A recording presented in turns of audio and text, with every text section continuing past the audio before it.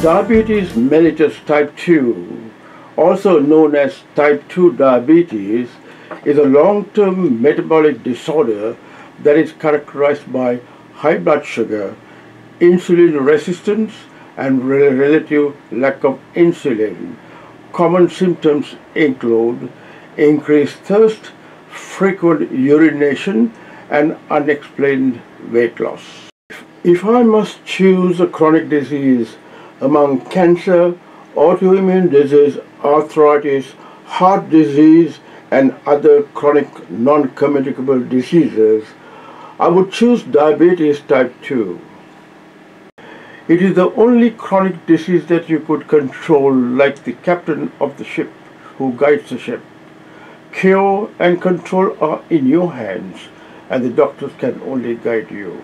With proper informed knowledge and strictly adhering to the right diet, exercise and medication, you could achieve a lifespan like those not having diabetes.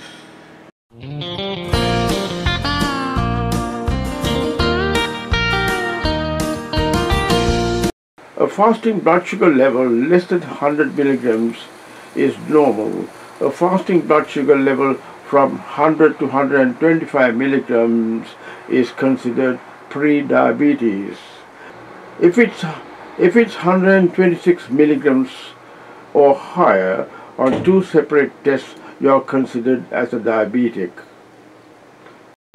If your blood sugar level tops 600 milligrams per deciliter or 33.3 millimoles per liter, the condition is called diabetic hyper osmolar syndrome.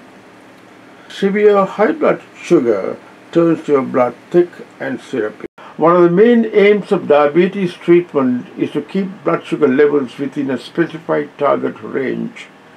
The key is balancing your food with your activity, lifestyles, and diabetic medicines. Blood glucose monitoring can help you understand the link between blood glucose food, exercise, and insulin. This graph explains the blood sugar levels of both a non-diabetic and a diabetic. Non-diabetic fasting level is less than 100 milligrams per deciliter. A diabetic may have a fasting level of 120 milligrams per deciliter. After two hours eating a carb diet, the non-diabetic sugar level will not go up above 140 milligrams per deciliter. In a diabetic at 2 hours after meal may rise even up to 180 milligrams per deciliter.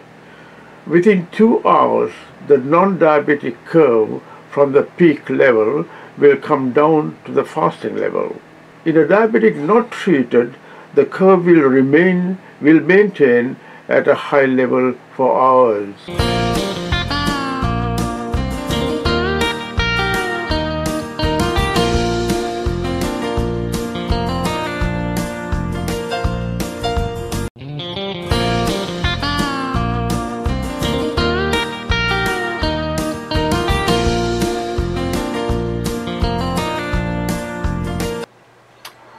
HB1AC or A1C is an estimated average of your blood glucose reading over 2 to 3 months. The blood glucose gets sucked into the hemoglobin of the red cells. This process is called glycation. This test determines by measuring the percentage of glyco glycosylated hemoglobin in the blood. This is the most reliable test presently to check how well you have managed as a diabetic person to control the disease. It is sometimes referred to as a memory test. You need to get this test done every six months and assess your diabetic control. A reading of 5% will indicate that your blood sugar is on an average 97 milligrams per dil. Reading of 7% indicate that your average blood sugar is 154 milligrams per dil. 8% indicates that your average is 183 milligrams per dil. A non-diabetic will give a reading of less than 6%. A diabetic must maintain HB1AC below 7%.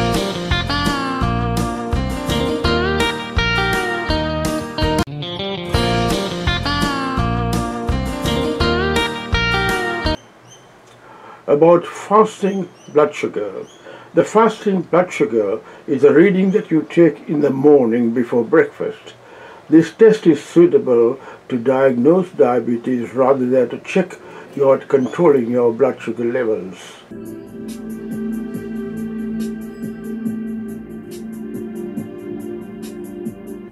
Diabetics will always have a high fasting blood sugar reading. Do not worry about it. Random tests at 11 a.m. and 4 p.m. will give a better estimate of your diabetic control, though unreliable. When your diabetes is well controlled, the 6 monthly HbA1c would be sufficient.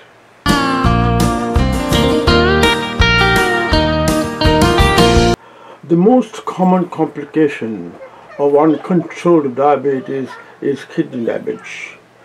Routine blood testing for blood creatinine blood urea and EGFR estimate that is estimated glomerular filtration rate test with examination of urine for microalbumin and creatinine will give an assessment of the situation of your kidney functions.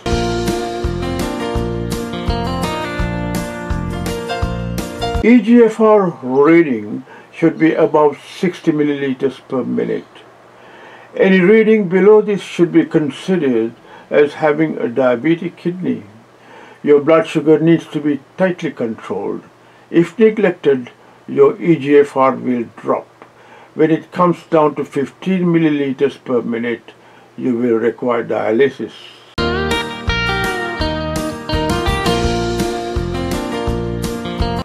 A note on metformin.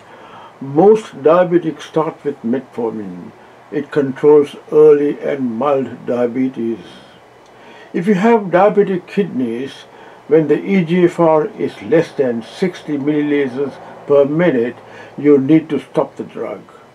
Further studies have shown that metformin, also sold as glucophage and novo metformin, says nearly one in four patients could experience dangerous side effects metformin can cause a side effect called lactic acidosis, a buildup of lactic acid in the blood that is fatal in half of all cases. Hydration by drinking adequate water is important to clear the creatinine, a waste product in your blood.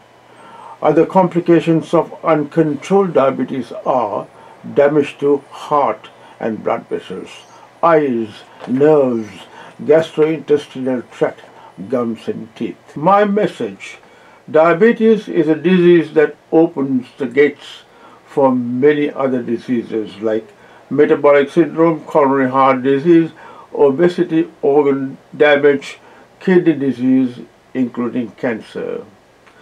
Please control your sugar with strict discipline and lifestyles to continue life as free as the non-diabetics. Hope this video conveyed the message. Thank you. Everywhere I look today made me stop and made me say, Thank you, Lord, for giving me the chance that I might see. Pretty flowers all around, butterfly that makes no sound. That's when I stop and tell myself how lucky I must be.